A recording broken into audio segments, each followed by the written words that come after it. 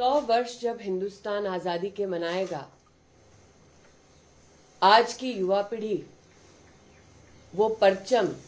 स्वतंत्र भारत में लहराएगा। अमृत काल की ये अमृत जेनरेशन किस बुलंद नींव पर सौ वर्ष आज़ादी के मनाएगा, आज उसी बुलंद नींव के कुछ उदाहरण आपके सम्मुख प्रस्तुत करना चाहती हूँ। भारत विश्व में थर्ड लार्जेस्ट इकोसिस्टम रखता है स्टार्टअप का। 650 से ज़्यादा जिलों में, अस्सी हज़ार से ज़्यादा स्टार्टअप्स सौ से ज़्यादा यूनिकॉर्न्स जिनकी टोटल वैल्यू 303 30 बिलियन डॉलर से भी ज़्यादा है। ये इस बात का संकेत है कि हिंदुस्तान की युवा पीढ़ी एंटरप्रेन्योरशिप की दुनिया में हिंदुस्तान का परचम कैसे लहरा रहा है। एक कुशल राष्ट्र की रचना के लिए, एक समृद्ध राष्ट्र की रचना के लिए, युवा पीढ़ी के कौशल का विकास हो यही नरेंद्र मोदी सरकार का संकल्प है। एक करोड़ से भी ज़्यादा स्किल्ड कौशल युक्त युवा पीढ़ी ये ही अमृत जनरेशन है जो हिंदुस्तान के सौ साल की आज़ादी के पूर्ण होने पर आगामी पीढ़ियों के लिए मार्ग प्रशस्त करेगा।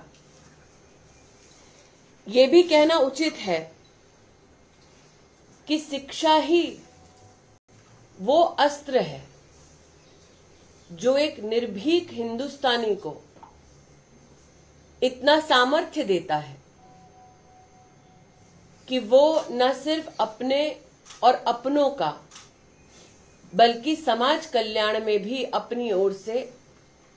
सहयोग दे सके भविष्य को उज्जवल कर सके। आज उस युवा पीढ़ी के शैक्षिक अधिकारों के दृष्टिकोण से भारत सरकार द्वारा संचालित नई शिक्षा नीति अपने आप में इस बात का प्रमाण है कि विविध भारतीय भाषाओं में हमारे देश का गौरव, हमारी नौजवान पीढ़ी को, चाहे वो जेंडर इंक्लूजन फंड हो, चाहे वो साइंस और टेक्नोलॉजी हो चाहे वो मेडिकल एजुकेशन हो, चाहे सात से ज़्यादा आईआईटी आईएम्स का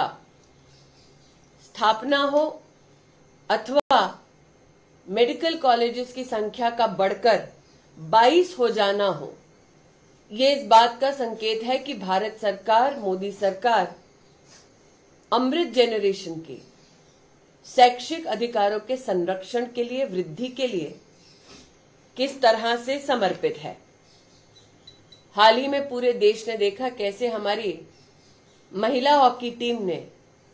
राष्ट्र का एक बार फिर गौरव बढ़ाया। प्रधानमंत्री नरेंद्र भाई मोदी ने देश भर में एक हज़ार से ज़्यादा खेलो इंडिया सेंटर्स की स्थापना के माध्यम से स्पोर्ट्स के इस कौशल को आगे बढ़ाने में अभूतपूर्व योगदान दिया है। मोदी सरकार के टॉप स्कीम के चलते आज 300 से भी ज़्यादा खिलाड़ी जो इस स्कीम का अभिन्न अंग है, आगामी आठ वर्ष तक सालाना पाँच लाख रुपए की सुविधा पा रहे हैं ताकि उनके स्पोर्टिंग स्किल को भारत सरकार सहयोग दे सके। इसी सहयोग के चलते आप सबने देखा, भारत का ओलंपिक्स में प्रदर्शन। जब हिंदुस्तान के इतिहास का पहला गोल्ड मेडल एथलेटिक्स में